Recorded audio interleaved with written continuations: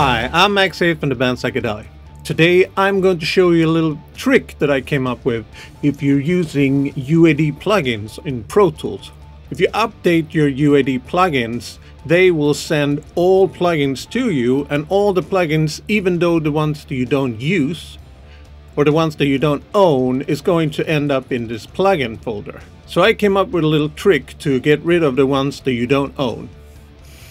So what I do is I go to my boot disk, I go to library, application support, go to Avid, audio, and then I go to plugin unused.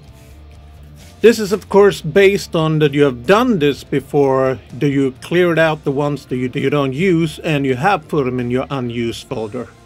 So what I do now is I take the first one and then I go to the bottom one and then I copy these and then after that I locate the uh, Universal Audio folder and then I go to uh, icon mode. So in here I can just paste the ones that I just uh, copied. I get this message so I choose apply to all. I go to replace and that replaces all the the new plugins that I don't have or that I don't own with the old one.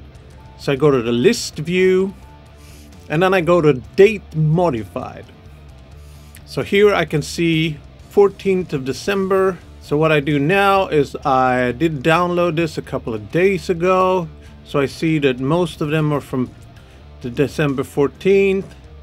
But then after a while, here comes the one 5th of September that I did before.